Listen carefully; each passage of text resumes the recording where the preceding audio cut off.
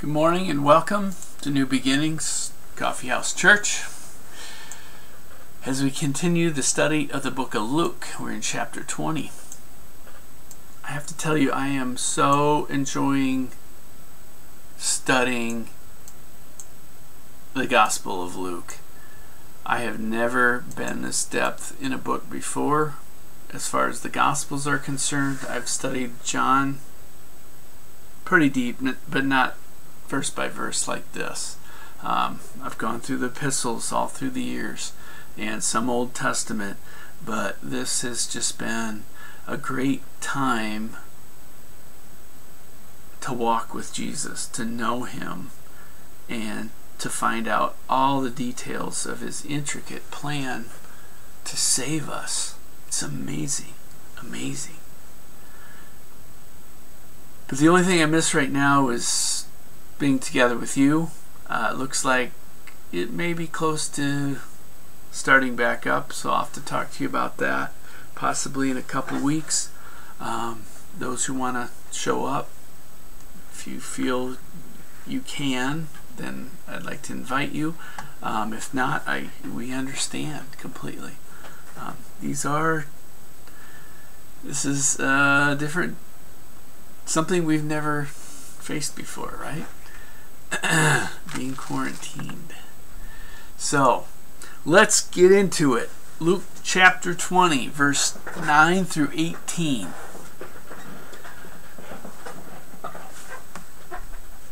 Just to get you up to speed, this is the last week of Jesus, and we are currently at day Wednesday.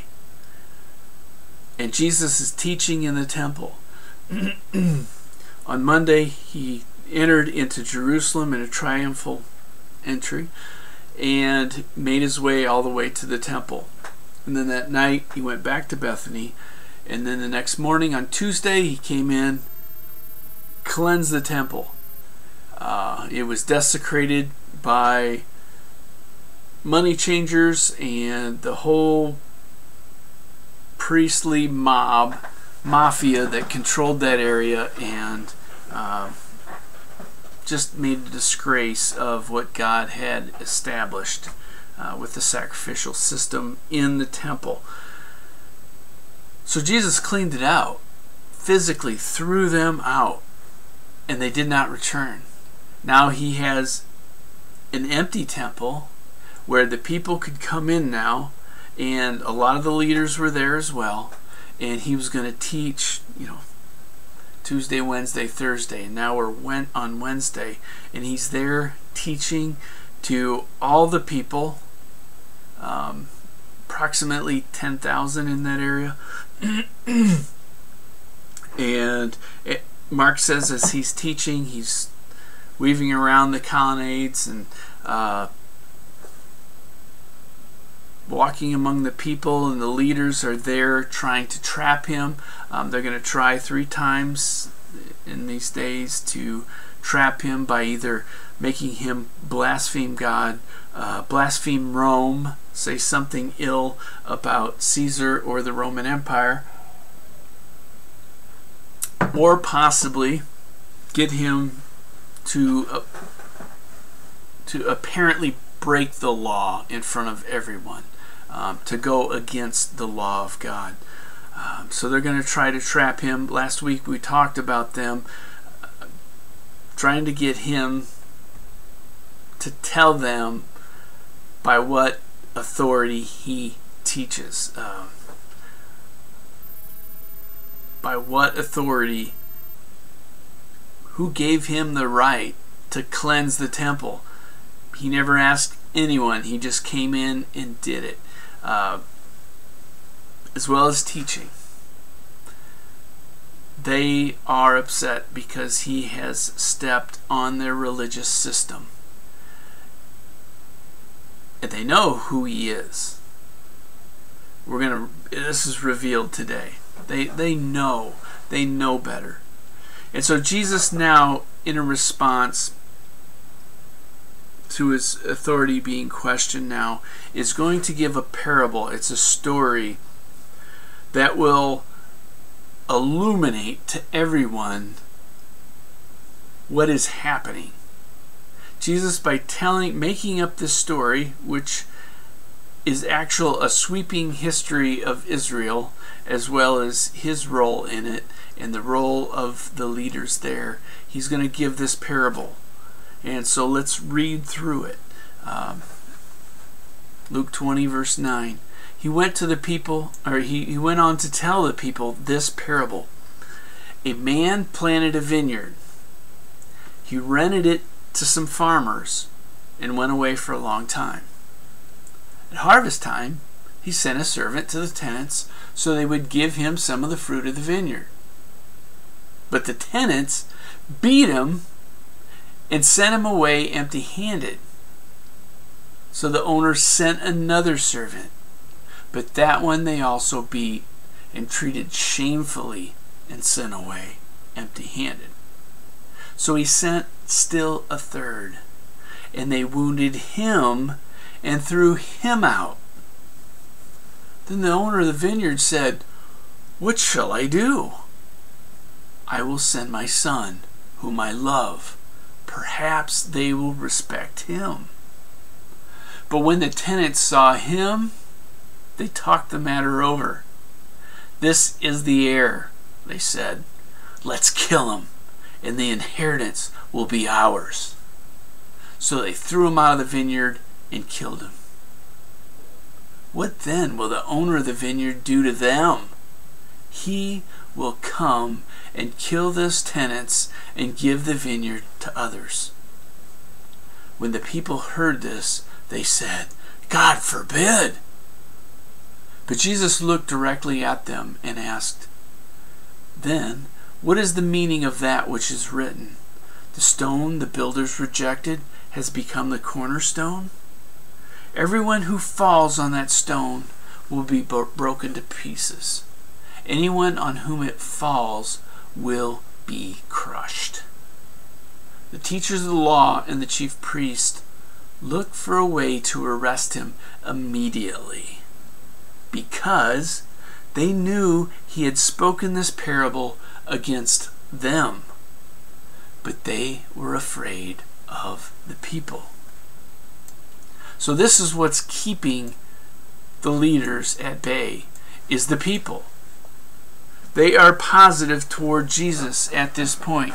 And as we have just seen with Jesus when they questioned him about his authority, he posed the question, a counter question to them, bringing in John the Baptist of saying, What authority did John the Baptist have? And of course, the religious leaders rejected John the Baptist. But they couldn't say that because the people loved John the Baptist. They considered him a prophet. So the leaders were afraid of, of this mass mob. Um, so they did not want to come right out and grab and arrest Jesus at this time. It wasn't his time. So, Jesus made up this parable but there's truth to it. And Matthew and Mark also give a synoptic version. They tell this same parable with just minor differences, and I'll and I'll bring those out here.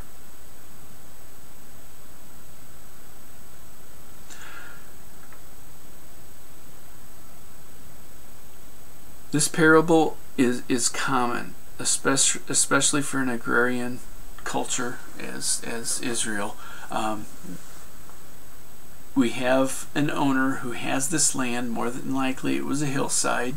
Um, most of the flat land was used for crops, but the hills were used. they, they would terrace them or make them uh, stair stepped to make them flat, easier to work on, and they would plant vineyards across the hillsides. In Matthew's account, he says that they that Jesus had said that the owner had put a hedge around it, uh, put a wine press in it, and also put a tower there. Um, uh, I mean, a complete, thorough perfect vineyard that was created, and this is common. And it was also very common to rent out to tenants, to contract farmers, because the owner wasn't going to be present. It said he planted the crop and then he left. And he left the land for these tenants to take care of. Um, more than likely, they had predetermined or came to grips with, they settled on a price that the owner would say, I want this much for the land, and then you can have anything above it. And this is really a great opportunity for them because it for the workers renting because they have the freedom to do what they want with uh, their time and uh, they have the privilege and also responsibility to work the land. So, Luke says the owner stays away a long time. In other words, he, he leaves after the crop is planted and he possibly li lives in a far off town or a foreign place outside of Israel. And so he goes. And he sends a slave or a doulos, that's the Greek word for it, a servant or a worker, to come back and to get some of the pr produce from the vineyard, to get his share of the crop. Up to this point, there's nothing really unusual about this story. This is what is to be expected. It was part of the predetermined contract. But Jesus in being in being the great storyteller comes to the point that moment of outrage, of shock, of shameful conduct in his parables. And we've seen that already in the book of Luke.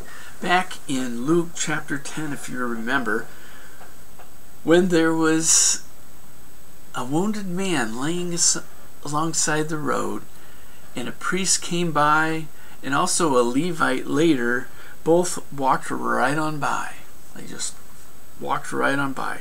And, and that wasn't so much shocking, but the third person that came by was a Samaritan. And the Samaritan took care of this wounded man. And Jesus just built him up of saying this this man just showed amazing grace. And that was the shocker that a dirty, filthy Samaritan, whom the Jews hated, was the hero of the story. That was the shocker. And then Luke Luke 15, we had the parable of the sons. And the one son went and squandered all all of his inheritance and then came to that point where he said, ah, I've got to go back to the Father. I'm just going to beg to be put in his service so I'll have something to eat. And so he goes back, and, and Jesus telling the story, everybody's thinking, oh, this son is, he's disgraced his father. He's just wretched, and he's coming back to his father. His father's going to deal with him sternly. And then Jesus' story takes a twist. It says, but while that son was still a long way off, his father saw him and was filled with compassion for him. It's like, what? What? He should be filled with anger. But Jesus says, no. His, his father is filled with compassion for his lost son. And he ran to his son. Do you remember that? He, he girded up his, his robe and exposed his leg and took off running for his son. It was like, this is shameful. This is.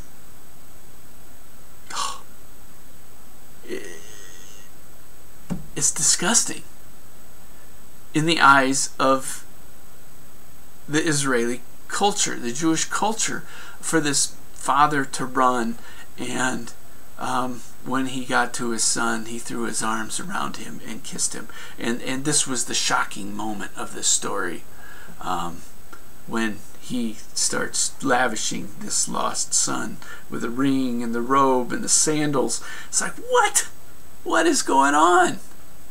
So Jesus has this way. And so he's he's got everybody thinking, wow, this owner, this poor owner, we're on his side. He sent slave after uh, servant after servant, and these mean, awful, dirty tenants are killing the servants.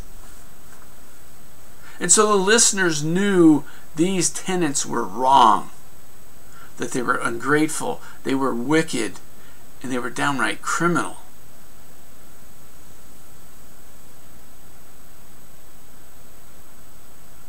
And why? Not to pay the owner what was due and send him back with nothing and beat his slaves? This is crazy.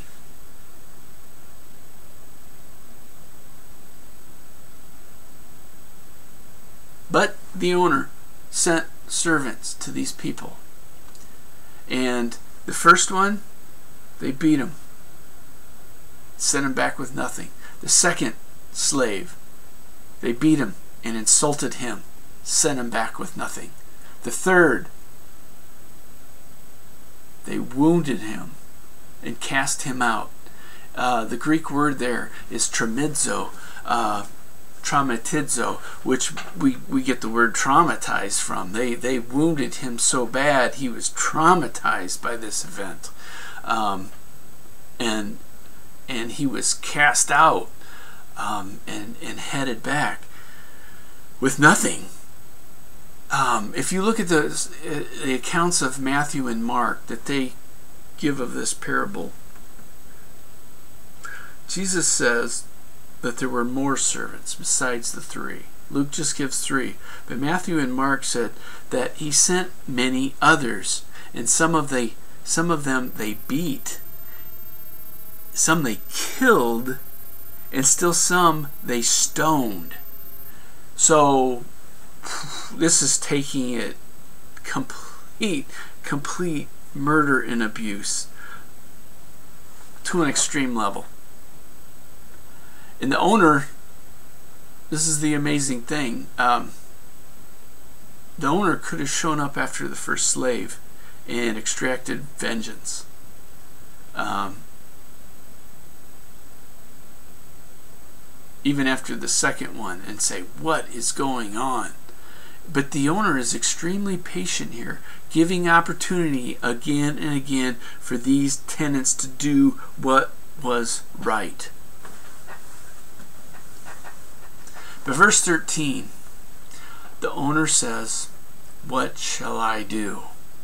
And of course, everybody listening to the story is like, You should come down them with holy, come down on them with holy vengeance and, and slaughter these people.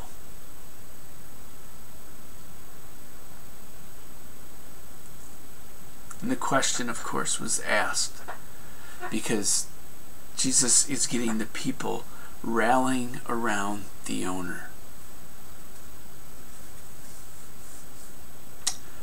And finally, the owner says, Look, I'm going to try one more time. I'm going to send my beloved son. And Matthew says, Last of all, I will send only my one and only beloved son. Perhaps they will respect him. In other words, he's saying, they should be ashamed to show any disrespect. This is my son. And it's a reasonable thought. But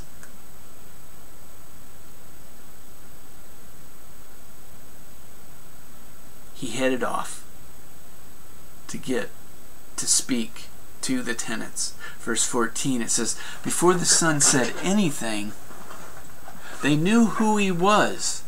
They dialogued about this. They knew who exactly who this person was. It was the son.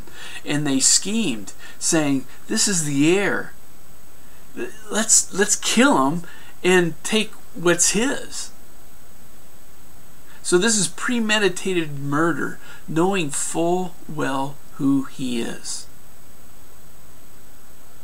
And they did as they planned. They threw him out of the vineyard and killed him. Now, this is completely outrageous.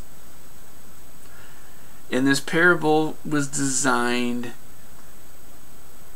to bring the people in and show them that this is unacceptable activity that is almost to a degree pagan. And Jesus masterfully made the people completely identify with the owner, and they understood the injustice and wickedness of the tenants. And so the story just sucked them right in. And then he Jesus asked, What will the owner do to them? Now, in the account of Luke, he asks the question and he answers it. What what then will the owner of the vineyard do to them? The response is he will come and kill those tenants and give the vineyard to others. So two things.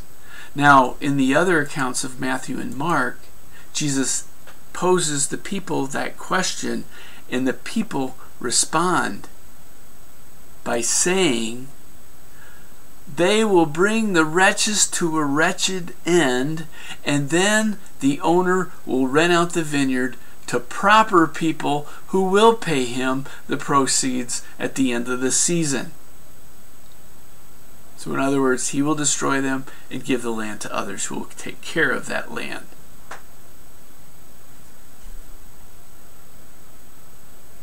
Now, the people find themselves in the story at this point that is playing out before them. Because of their response in verse at the end of verse 16. It says when the people heard this, they said, God forbid.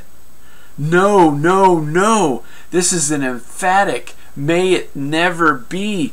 Um, I don't know if you remember in Romans chapter 6 where Paul there he's he's he's posing questions in the book of Romans um, in chapter six, uh, in verse one, where he has just been discussing the, the grace of God that that pours out and forgives people who are in Christ, and we are free indeed with no condemnation.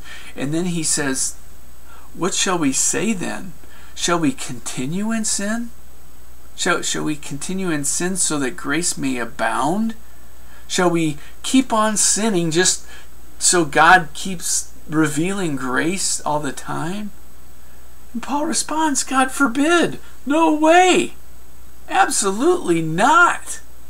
We how shall we who are dead to sin live any longer in a lifestyle of sin?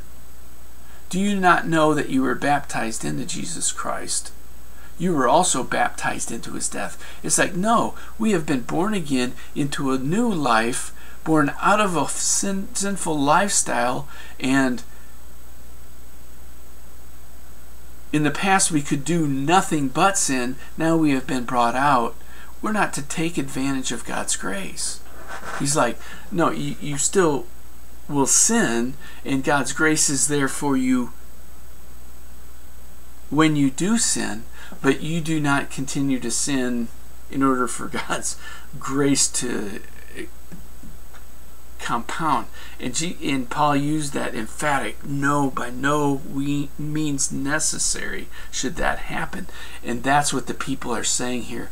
As they realize what Jesus is saying, that this story is about them and him.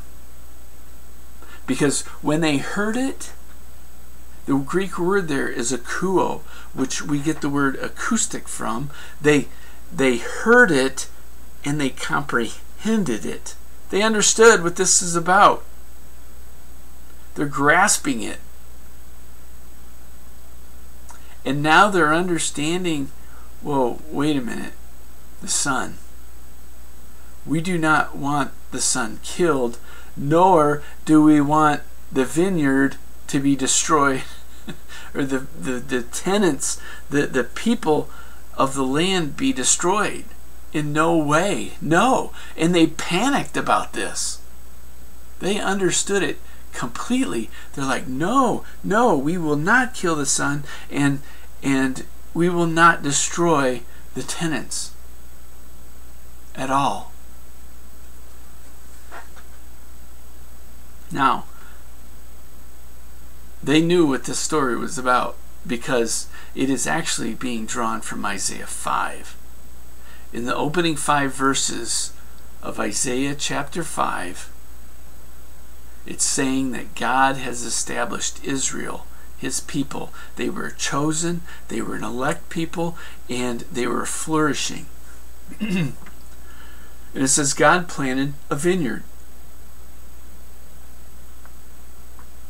Israel is that vineyard.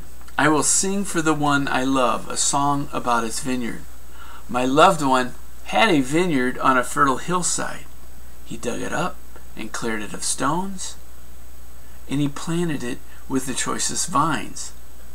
He built a watchtower in it and cut out a winepress as well. Then he looked for a crop of good grapes, but it yielded only bad fruit. Now I want you to understand this this is exactly what Matthew has said that in Jesus' parable that there was a vineyard with a watchtower and a wine press. And of course, this means there's a there's a tower there and that that talks about Israel is God's nation. He is their vineyard. In this tower, he's there. His presence is there protecting it, protecting this nation. And there's a wine press that speaks of the sacrifices there that is satisfactory to the owner that the uh, the grapes will be pressed there and the fruit will be yielded there. And um,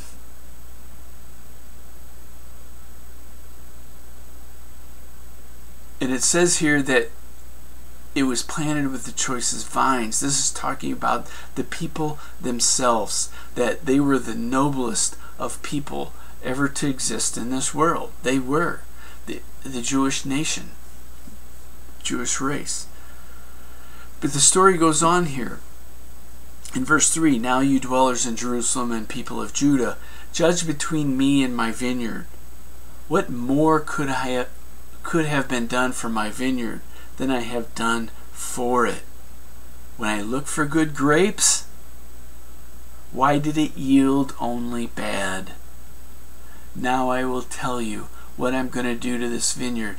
I will take away its hedge and it will be destroyed. I will break down its wall, it will be trampled. I will make it a wasteland neither pruned nor cultivated, and briars and thorns will grow there. I will command the clouds not to rain on it. So God says, I'm going to judge this vineyard because it is not producing good fruit.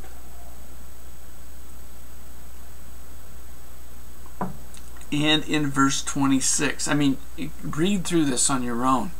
Um, but by the time you get to verse 26, it says, He lifts up a banner for the distant nations. He whistles for those at the ends of the earth. Here they are. Here they come, swift and speedily. He's like, The nation Israel has turned away from me so far that I need to shake them and wake them. And the only way I can do it is by bringing, bringing a wicked nation in. And so he whistles for him. Get in here and shake up my people. And Isaiah is talking about the Babylonian Empire coming in that is going to put Israel in captivity and actually destroy the nation, uh, destroy the temple, destroy everything, the nation, um, except for the exiled people that go into the nation. But anyway, it happens. His vineyard. you can look, you can read also Jeremiah 2:21 that that gives the same illustration of a vineyard, um, and that goes in oh, great detail, very great detail about the people and how they sought after other gods and, and rejected God, and they became the bad berries, the, the bad fruit.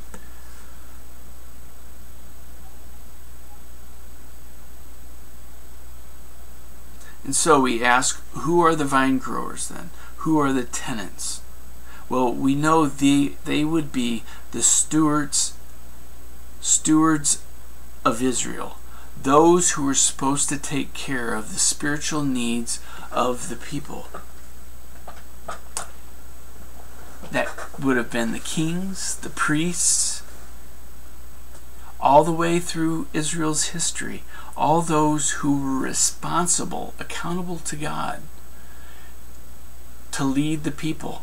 And this is a 2,000 year expanse of Israel's history, all the way from Abraham to the time of Christ.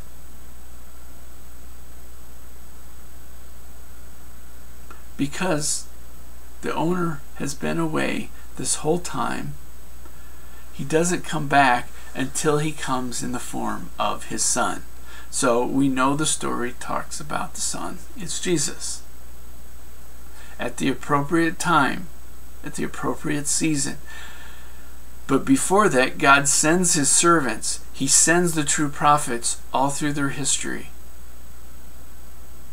And these prophets were sent to Israel to return the nation back to the Lord all the way back to the time of Moses, all the way up to John the Baptist. Turn to God and be obedient, reject sin, reject the foreign gods, reject evil. That has been their message. Repent and come to the Lord. And how were those prophets treated? They were beaten, they were treated with shame, they were cast out, they were killed, and they were stoned. Exactly how Jesus had explained it as the servants here. Ah. Uh, we've talked about this already. Jesus has brought up the prophets before. And he's just to remind you that Isaiah himself as a prophet was sawed in half. He's the one referred to in Hebrews 11 37. Um, Jeremiah was constantly mistreated. He was thrown in a pit. Tradition says that he was stoned to death. Ezekiel faced the same hostility and treatment. Amos fled for his life. Zechariah was rejected and stoned. So there's one thing that was sure, especially true of the story Jesus tells the leaders of Israel were always consistent. They always were in opposition to God and the servants they sent. And if you remember back in Luke 11, Jesus talked about this. He said, Woe to you, verse 47, Woe to you because you build tombs for the prophets, and it was your ancestors who killed them. So you testify that you approve of what your ancestors did. They killed the prophets, and you build their tombs. Because of this, God in his wisdom said, I will send them prophets and apostles some whom they will kill, and others they will persecute. Therefore, from this generation will be held responsible for the blood of all the prophets that has been shed since the beginning of the world, from the blood of Abel to the blood of Zechariah, who was killed between the altar and the sanctuary. Yes, I tell you, this generation will be held responsible for it all. Jerusalem, Jerusalem, you who kill the prophets and stone those who, who were sent to you. Do you remember that? They love to kill their prophets. That's their history. Slaughter the prophets. And it's nothing new at all.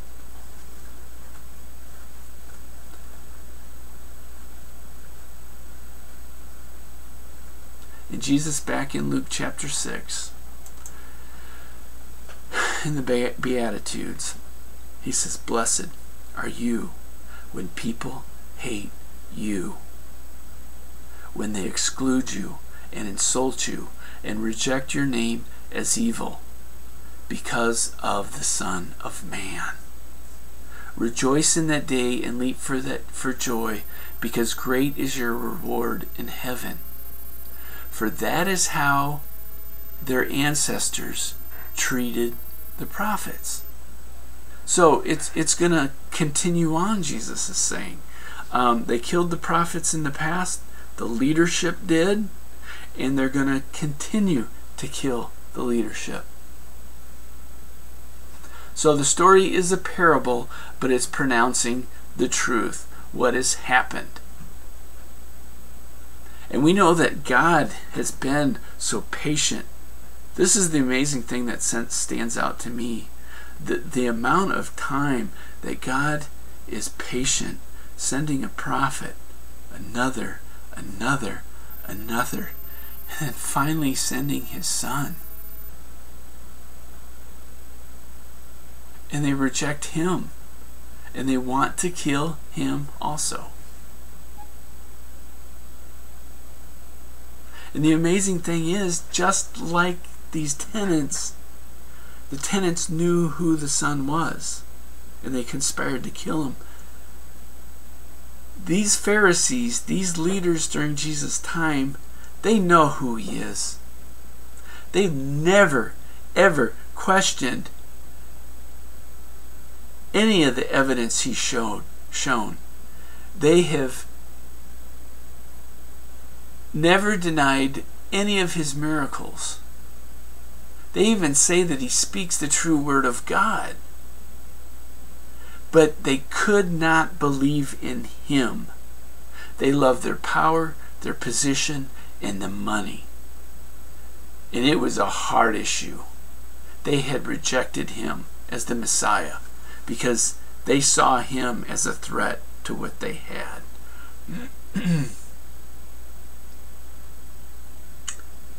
and so Jesus predicts his death here of saying they're going to they're to throw him out of the vineyard vineyard. And he's saying they're going to crucify me outside the city. In other words i will be rejected by the nation. Like I said, when the people understood it, they realized what they had said when they said, Destroy the wretched vine growers and give it to someone else. They said, No, wait, wait, no. We, we just condemned our own religion and our own nation. We want to take it back. We don't want to kill the son. But what Jesus is saying is, it's too late. It's over. It's over. The nation has come to an end. And Jesus has already given the divine judgment when he said back in chapter 13, Look, your house is left to you desolate.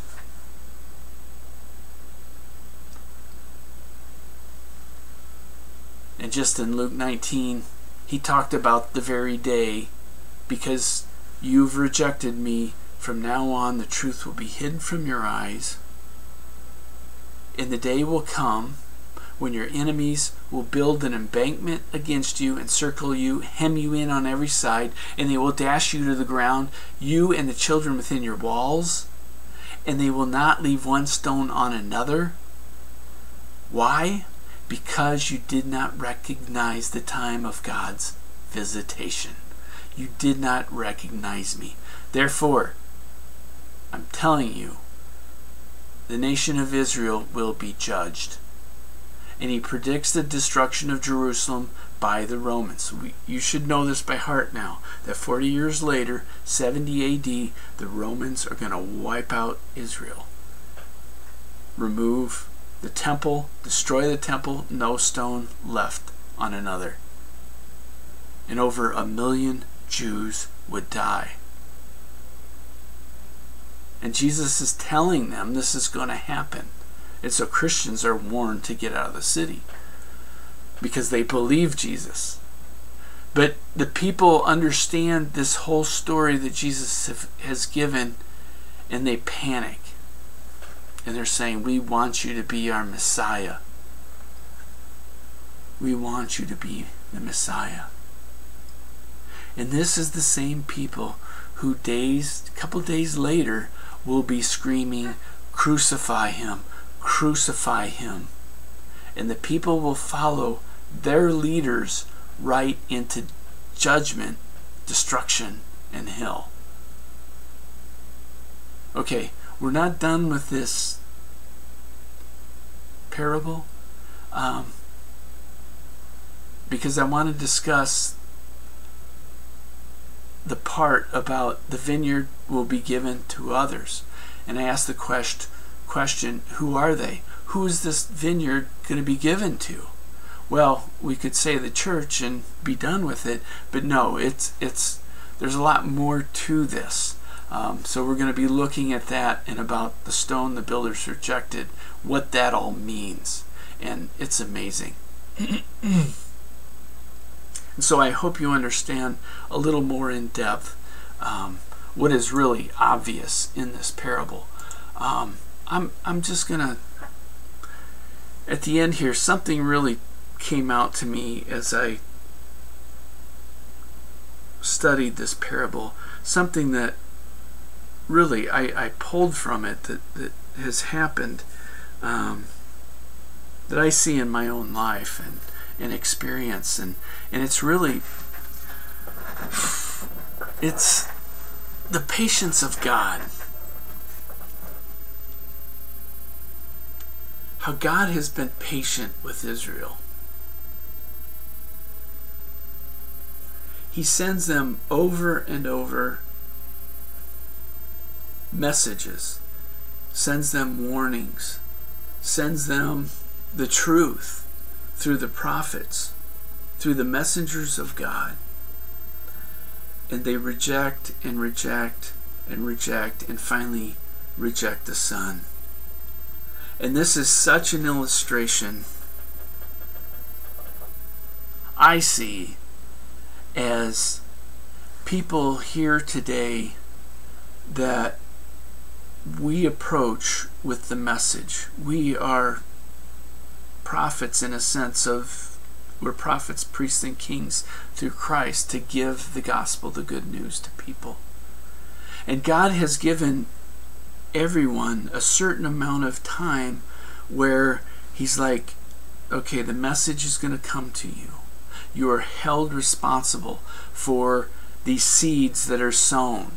Remember, we, we, we Jesus has talked about the sower of seeds and a person has so much time in their life to accept the truth. And they hear the message over and over about Jesus. And God sends different messages. And so I try to be that person of throwing the seed. And I, I know you are, are as, as well, that we are um, ministers of God's reconciliation to, to tell people about God sending Christ for them. And so, ever since I was a young Christian and um, God had urged me to talk to this one specific person that I worked with back in Indianapolis. Um, he's like give him the gospel give him the gospel. And and i was i was afraid. I didn't know how to approach this person. And it went on for a while and then finally one day i went to work. And to my dismay this person had been killed in uh, a farming accident. And it's like god I, you put it on my heart to talk to this man about you. And I did not do it. And I said at that time, I, I will never, ever miss an opportunity again. I will, I will tell whoever I come across if you urge me, as well as just, I want a nature of habit to ask them, you know, who do you say Christ is? Or do you understand who he is? How do you get to heaven? And to put forth the gospel. And and I think about people time after time after time that hear. And there's another case that comes to mind where I had an opportunity to talk to someone, a friend. I had two opportunities. And I mean, not a lot of exposure with this person, but I had opportunity. People were around, and they had give me a simple question. They they had given kind of open statement, kind of iffy about God, and just kind of left it hang there. And it's like, wow, what an opportunity! And so I'm just getting ready to speak, and somebody interrupts and cuts me off. It's like, and, and I can't, that, that moment was lost. And I, and I so wanted to tell them about Christ at that point. And I saw that they were somewhat open. But it happened again where I was I was ready to tell them about Christ and I was interrupted. And it, it is like being in a baseball game and, and you've got the pitcher standing there and you're up to bat and you're ready for this lobbed slow ball coming and it's like oh it's just hanging there and you're just ready to crank on that ball and as you go to swing the bat somebody's holding the bat and the ball goes by and the reason I'm saying this is that person passed away. And the person holding the bat was the person that interrupted me speaking to this man.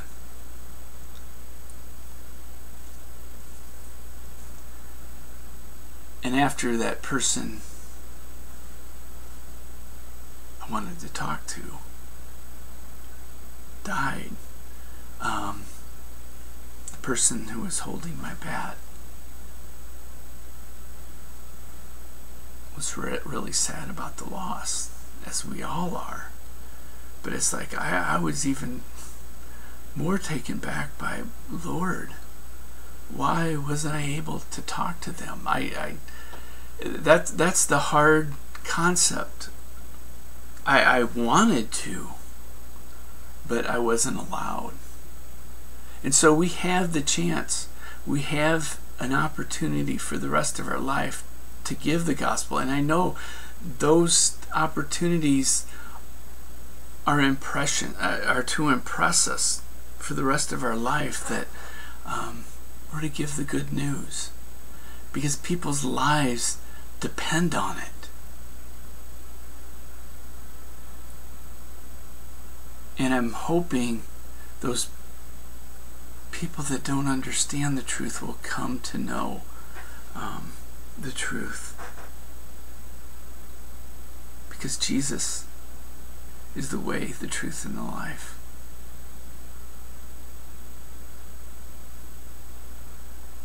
He died for us. May we continue to proclaim him. Father, thank you for your word.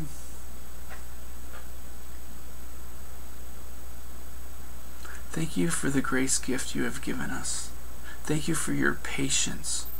That through our past, we've heard you, through people, send the message to us. And we heard it, we heard it, we heard it. And then one day, we finally heard it, understood it, and you saved us. You, you regenerated us. You made us a new creation in Christ. And you made your word knowable to us. And Father, I ask that you use us more, that you give us a spirit of boldness to tell people this type of parable to them that um, God has spoken to tell them, look, God has been trying to get your attention over and over and over and over. And He wants you to come to Him because He's given His Son for you, a free grace gift. And our life is short. It is so short. Please accept Him. Please. I beg of you, I plead with you to know Jesus the one. So, Father, I pray that those opportunities may come our way and that people's heart would be open, that their, their hearts would be fertile soil. And Father, I, I think that I understand now we are the scatters, or uh, the gatherers of your kingdom. We are the ones that scatter the seed and gather in those who would come to you. Whereas those people who interrupt, who who don't want to hear the message, they are the ones who scatter, that keep people away from you. Father, I pray that we have great opportunity to reach those for Christ. And that those who are scattering will one day turn and see you and stop gathering or scattering and start gathering for you. Father, I ask this in Jesus' name. Amen. Amen. Thank you.